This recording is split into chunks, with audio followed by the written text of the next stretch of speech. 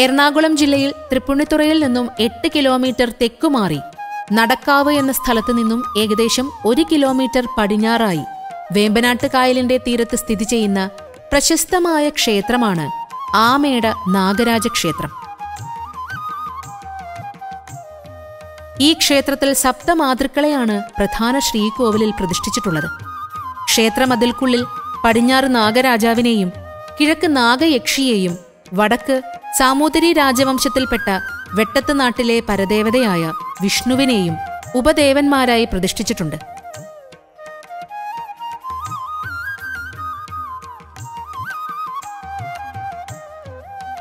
ആമയുടെ ക്ഷേത്ര സമുച്ചയം ഇല്ലവും ഇല്ലപ്പറമ്പും ഉൾപ്പെട്ട പത്ത് ഏക്കറോളം വരുന്നു.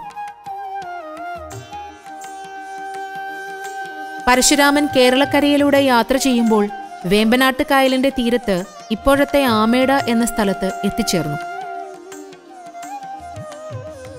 സൂര്യാസ്തമന സമയത്ത് സന്ധ്യാവന്ദനത്തിനിറങ്ങിയപ്പോൾ കായലിൽ ഒരു ദിവ്യ തേജസ് കണ്ടു. അദ്ദേഹം ആ ദിവ്യ തേജസ് എന്തെന്നറിയാൻ വേണ്ടി കായൽ മധ്യത്തിലേക്ക് ഇറങ്ങി നടക്കുകയുണ്ടായി.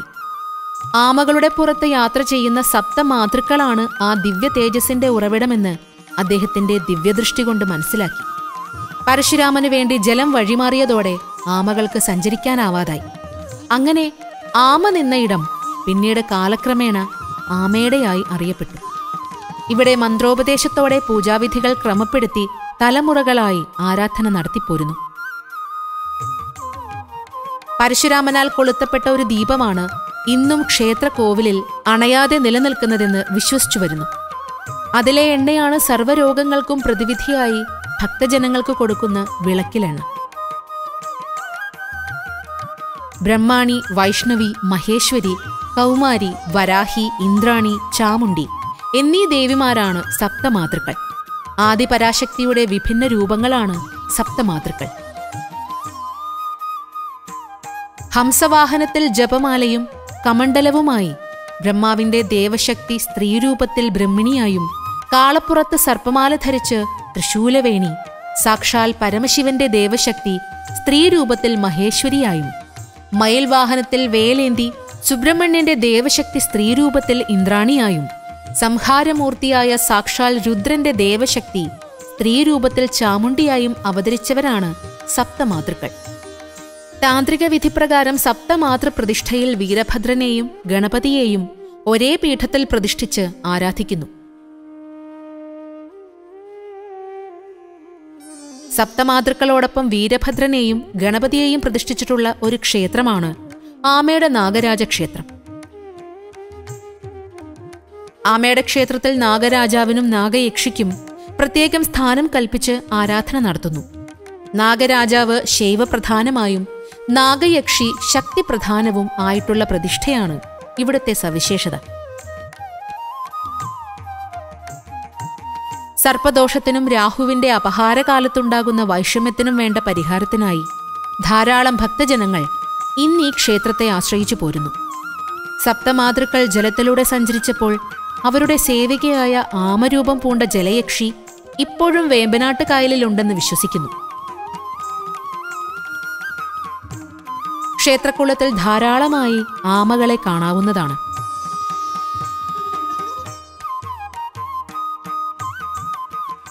ക്ഷേത്രത്തിന്റെ വടക്കുവശത്തായി ഇല്ലപ്പറമ്പിൽ ഒരു വിഷ്ണു ക്ഷേത്രമുണ്ട്. ഇത് ആമേടമംഗലം മംഗലം ഇല്ലക്കാരുടെ ആദ്യകാല പരദേവതയാണ്.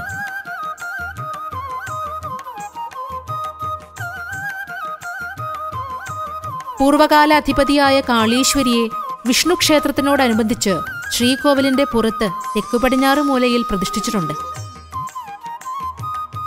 മീനമാസത്തിലെ മകൈരം നക്ഷത്രത്തിൽ കൊടി കയറി പൂരം വലിയ വിളക്കും ഉത്രമാറാട്ടുമായി നടത്തുന്നു. പൊതുവെ ആയില്യം നക്ഷത്രം സർപ്പാരാധനയ്ക്ക് പ്രാധാന്യമുള്ളതാണ്.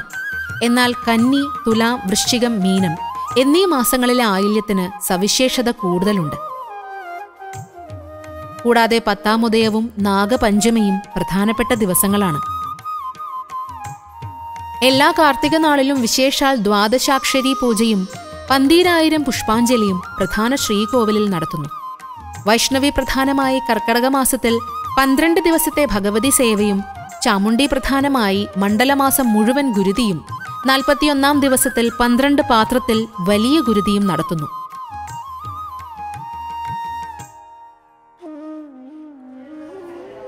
കന്നി വൃശ്ചികം മീനം മാസങ്ങളിലെ ആയില്യം നാളിൽ നടത്തുന്ന ഒരു പ്രധാന വഴിപാടാണ് ആയില്യം ഇടി. എതിർത്ത പൂജയ്ക്ക് ശേഷം ഇലത്തെ കാരണവർ മര ഉരലിൽ ചന്ദനമുട്ടി കൊണ്ട് ഉതിർത്ത ഉണക്കലരി ഇടിച്ച് ഹരിയോഹര മന്ത്രത്താൽ തലയിലിടുന്നു. ഇതാണ് ആയില്യമിടി എന്ന വിശേഷാൽ വഴിപാട്. കാർത്തിക നാളിൽ ദേവീ പൂജയ്ക്ക് നിവേദിക്കുന്നതാണ് കാർത്തിക പായസം.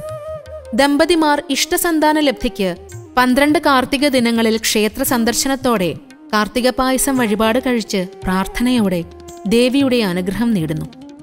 രാഹുദോഷത്തിനും സർപ്പപ്രീതിക്കും വേണ്ടി നടത്തുന്ന വഴിപാടാണ് സർപ്പബലിയും അഷ്ടനാഗപൂജയും. ജലയക്ഷിക്കുള്ള കിണ്ടിയെറിയലും സപ്തമാതൃക്കൾക്കുള്ള പൂവട്ടക കമിഴ്ത്തലും ഇവിടെ പ്രധാനമാണ്. ഈ രണ്ട് വഴിപാടുകളുടെയും ഫലം ഇഷ്ടസന്താന ലബ്ധിയാണ്. മാസത്തിലെ നാൽപ്പത്തി ഒന്ന് ദിവസങ്ങളിൽ ക്ഷേത്രത്തിൽ ചാമുട്ടിക്ക് പ്രത്യേകം ഗുരുതി പൂജയുണ്ട് ഇത് ശത്രു സംഹാരത്തിന് അത്യുത്തമമാണ്.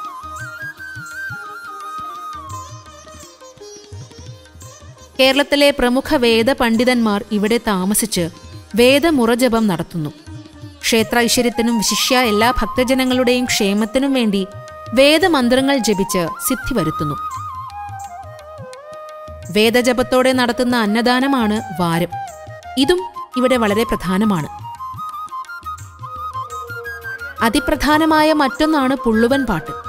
ക്ഷേത്ര ചുറ്റുവട്ടത്ത് കഴിയുന്ന പുള്ളുവ കുടുംബങ്ങളിലെ അംഗങ്ങളാണ് ഇത് നടത്തുന്നത്.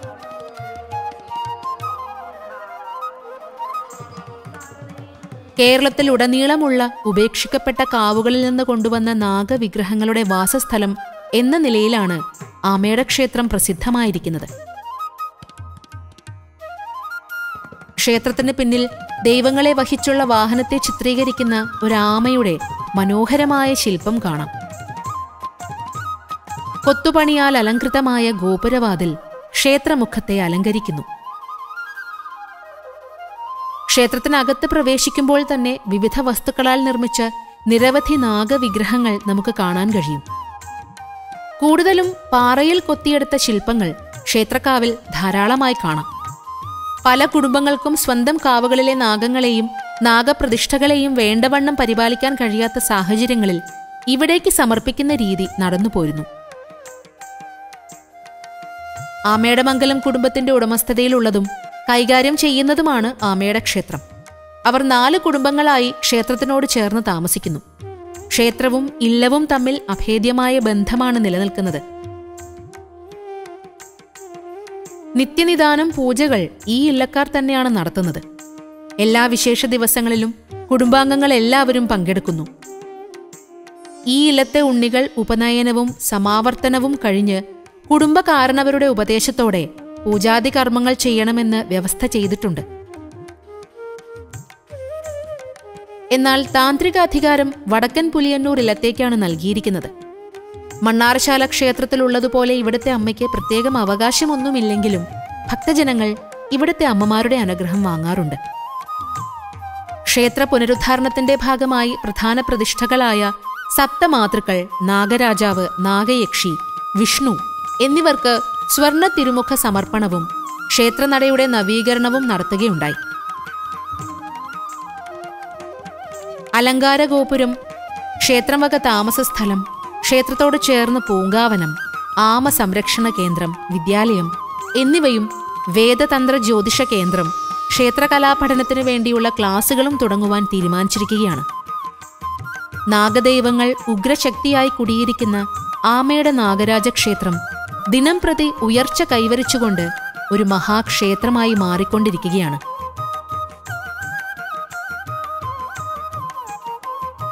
ഭക്തലക്ഷങ്ങളുടെ ആരാധനാ കേന്ദ്രമാണ് ആമേട നാഗരാജ ക്ഷേത്രം ഇവിടെ എത്തി മനമൊരുകി പ്രാർത്ഥിക്കുമ്പോൾ ജീവിതദോഷങ്ങൾക്ക് അറുതിയുണ്ടാകുന്നു വിഘ്നങ്ങൾ അകന്നു പോകുന്നു.